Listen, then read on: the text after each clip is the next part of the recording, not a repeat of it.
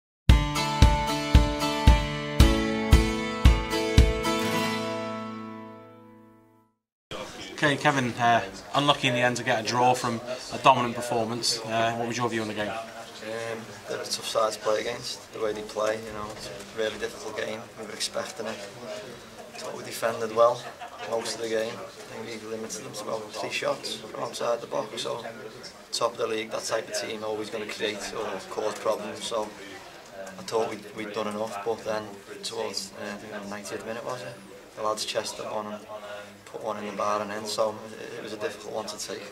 Yeah, it's a difficult one to take, and the, the crowd really responded to, to the players and could see the effort put in today, and it, you know really got behind the team. I think it sort of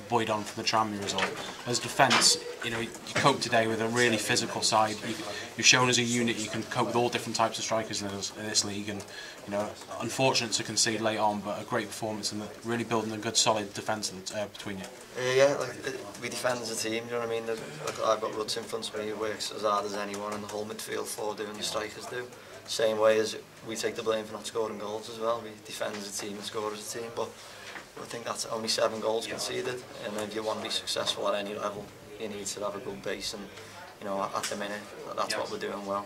Disappointed to concede, but I don't. Like, they never really cut us open or I had a clear cut chance. The lad just scored an absolute worldie. Sometimes you've got to hold your hands up.